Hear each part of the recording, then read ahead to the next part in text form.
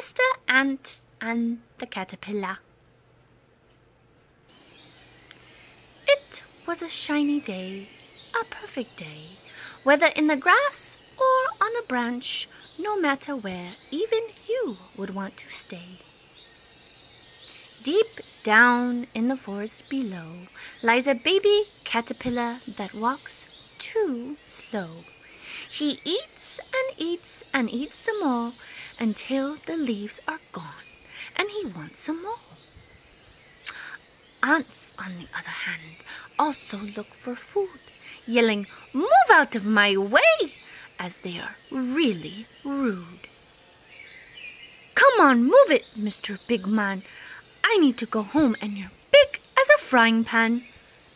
Hey now, that's not nice to call me names. I can't move as fast as I'm a lot bigger than you, and I'm sorry that's to blame. I don't care about how big you are. If you would stop eating, maybe you would move faster and really go far. Now you listen up, Mr. Ant. One day I'll grow up and be as beautiful as a sunflower plant. Just move out of my way. The world would be better off without you caterpillars standing in the way. Months go by, days and nights. Moons go up, suns go down. What a beautiful sight. Along comes the ant, fast and all.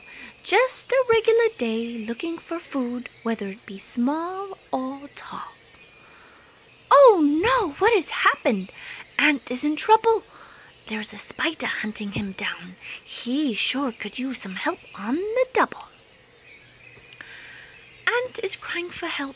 No one is around, just Mr. Ant and the spider with a mean old frown. This is it. It's time to go. As a tear drops from his eye, then all of a sudden, shadows of wings appear in the sky. Don't worry, Mr. Ant.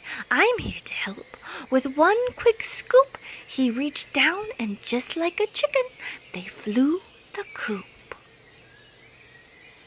They landed safely on the ground, away from the spider with a mean old frown.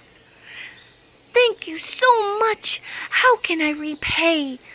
The butterfly says, Today you shall say hello to any caterpillar that stands in your way. Introduce yourself nicely and so politely, for one day that caterpillar may be your friend in need to hug onto so tightly.